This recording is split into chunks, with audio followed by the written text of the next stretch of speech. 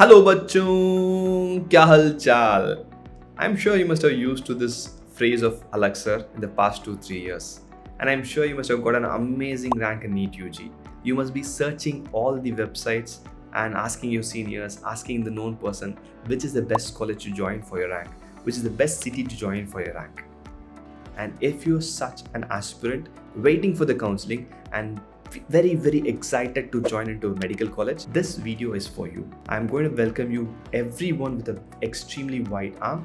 Welcome to pw meded which is the medical education vertical of physics wallah. And i am dr Ranjith i'm going to discuss something which is very very important for an mbbs student who's going to enter to medical college from the background of school. I'm going to divide this video into four different things. First how you're going to look how you're going to present yourselves Second, things to buy, instruments to buy. Third, obviously the books, right? Which books are the best thing for you to read and for you to excel and to become a great doctor. And last but not the least, nothing is all work and no play makes every jack a dull boy, right? How to enjoy hostel, how to have a perfect work-life balance, that also I'm going to discuss about it, right?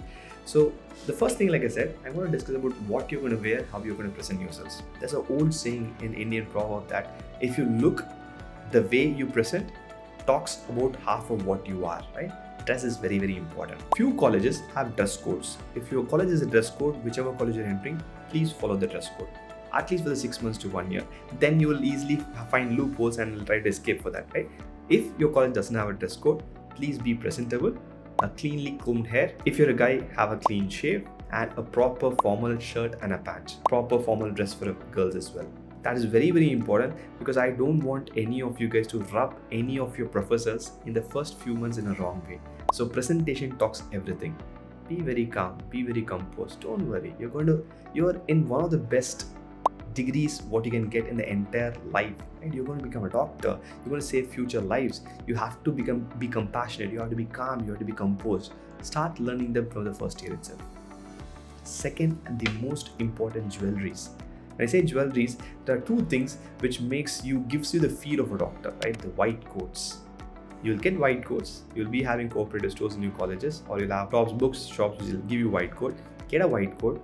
If your college says you have to put a college logo, put the logo on it. Most of the time, half sleeves are better because generally full sleeve coat is meant for professors and additional professors. Have a half sleeve coat, white coat. Get two, three pairs, right? Two, three sets at least the reason why I'm asking you to minimum have three or four set uh, three or four white coats is it gets dirty, and especially if you're in a hostel, there's no one who's going to help us to wash them, right? Because after one month, the white coat kind of slowly becomes yellow in color, right? That shouldn't happen. Make sure that's neat. Again, for the first six months at least, you become presentable so that after that, you know the real, you know how to manage everyone, and you'll definitely do it in the best way possible, right? That's important and the most important thing here, stethoscope. I'm sure everyone who enters the medical college, the first thing you get a stethoscope, you put into your ears, you hear your heartbeat, you hear your parents' heartbeat, brother, sister, sibling heartbeat. That gives an euphoria, right? So when you're going initially into an MBBS college, I would say buy a stethoscope which is usable, right? I'm not I'm not asking you to buy the Littmann stethoscope.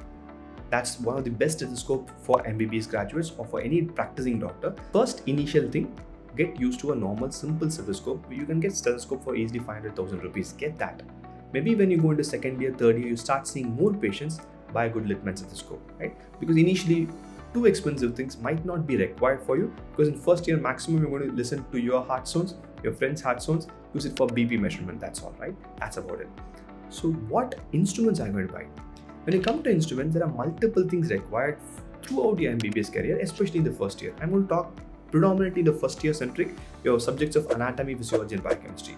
Anatomy, where you're going to dissect cadavers or the dead bodies. For that, you'll have a dissection kit. Get a beautiful dissection kit. Along with that, that's very, very important to have a hand sanitizer. Because you're going to touch anything in the dissection hall, it'll be infected. You have to wash your hands, sanitize your hand, and then go and have your lunch because that's how your routine is going to be, right? So keep a hand sanitizer handy with you always thanks to COVID, which taught us one thing to keep us ourselves clean. That's very, very important when you work in dissection hall as well. Don't panic. The dead bodies which are going to be there, the cadavers which are going to be there in your hospitals are completely, completely well preserved. You won't get any infections or whatsoever from that. You're not scared, be scared about it, right? So get a dissection set, a knife, a scalpel, a forceps, tooth, non-tooth, all the things will be there in dissection set. Make sure each time you use that during dissection to sterilize them and keep them back very safely. Don't keep them dirty and please, please sterilize after every dissection thing. Wash at least after every dissection, whatever you're doing, right? You will have a team of people dissecting on a cadaver, and that will be the, one of the most pleasurable moments, I would say, looking back 10 years down the lane. After you become a doctor, you sit as a consultant. If you look back at the first year, first year, I would say the first thing you'll remember is the dissection hall, right?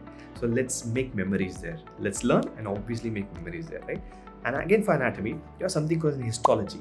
Histology is something to look into the microscope. You must have seen microscope in your 12th standard itself, but here you see a cardiac muscle, you see a skeletal muscle. They'll ask you to draw them and you will get introduced to two great pencils of eosin and hematoxylin. The pink and blue pencils are one of the nightmares.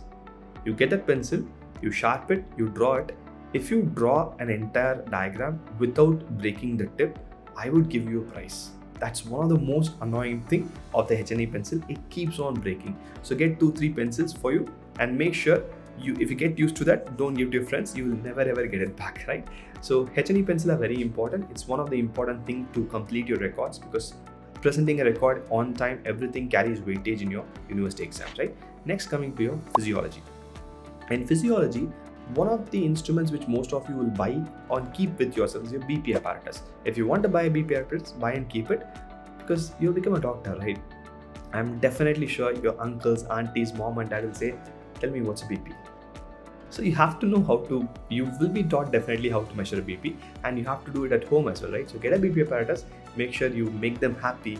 They have sacrificed their entire life for you. Just at least measure a BP and make them happy for themselves, right?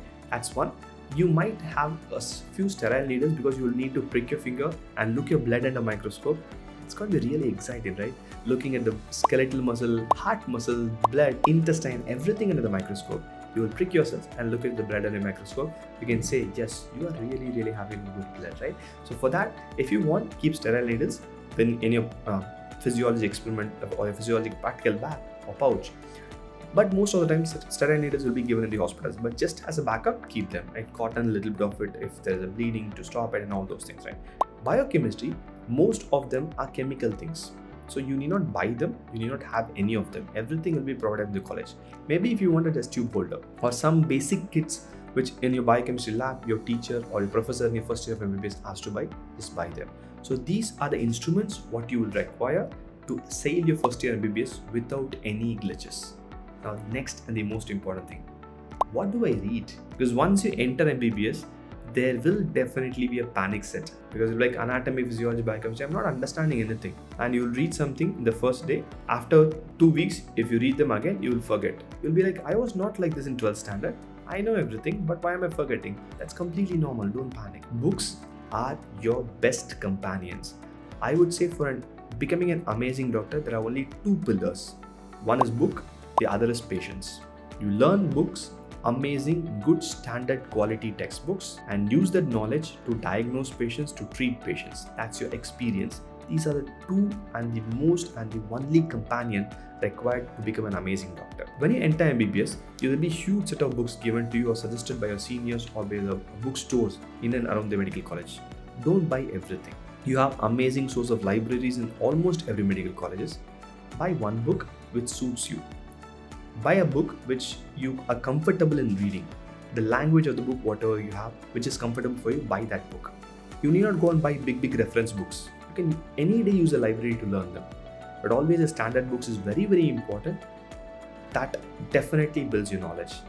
And if you're finding any difficulty in understanding anatomy physiology biochemistry we have super duper amazing faculties at pw med with experience in teaching almost more than your age we have Dr. Pradeep who's teaching anatomy for 20 plus years, Dr. Vivek Nagrikar who's been teaching physiology for 20 plus years, and we have an amazing person, Dr. Rajesh Jambulkar, who will be teaching biochemistry for you at PW Med.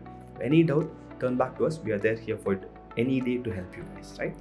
And next thing is, it's always a good investment to have a laptop if possible or a tablet if possible.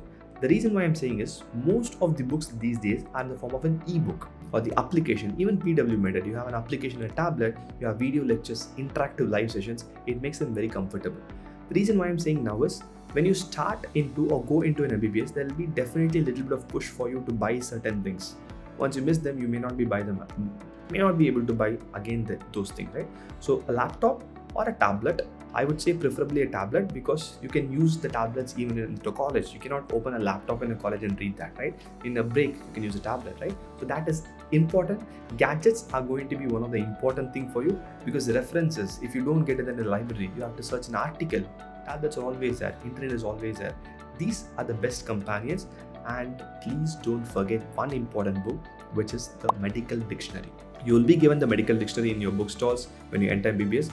Please don't throw the book that's the most important thing because I feel that every doctor should go to the medical dictionary because medical dictionary converts all the Greek, Latin, blah blah blah languages into English so that it helps you understand the entire medicine without any hiccups.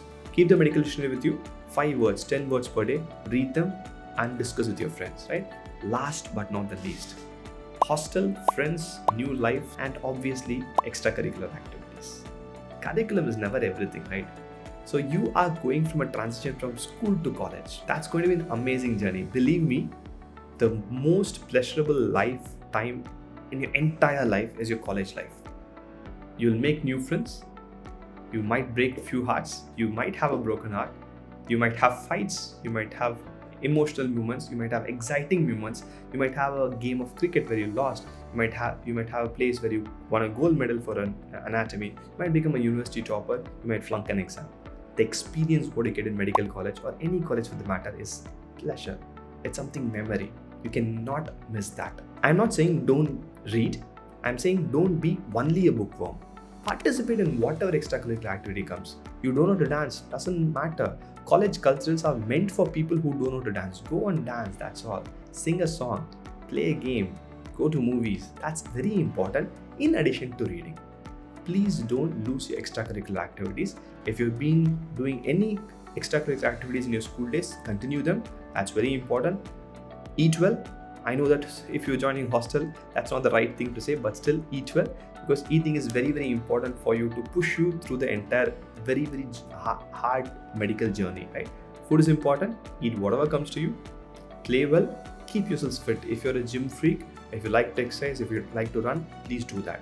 If you're good in yoga meditation please continue that. Please continue all the extracurricular activities which you had in your school days. If you didn't have one develop one. Like i said college is the best time to experiment experiment something develop some new things so that a hobby is always required because your four and a half years and five year, one year of internship is definitely going to be a very tough journey if you don't have anything to lie back on. You need an extracurricular activity, you need a hobby that will make you definitely much, much better and help your entire journey look very smooth, right? So, in addition to that, friends, friends, seniors are something which you can never ever miss in medical career. They are going to be a support system always, not just do your MBBS, throughout your medical career. Don't worry about ragging. Ragging is like almost minimal in medical schools. If you have something intolerable, please go to your authorities. So get a good bunch of friends, be with them forever, get a good bunch of seniors, listen to their advices because they have done the path, right? Listen to them, whatever they are saying, and definitely we can easily make your medical life pleasurable. So if you have any more doubts, and if you want any suggestions from me or anyone from the PW team, please comment below.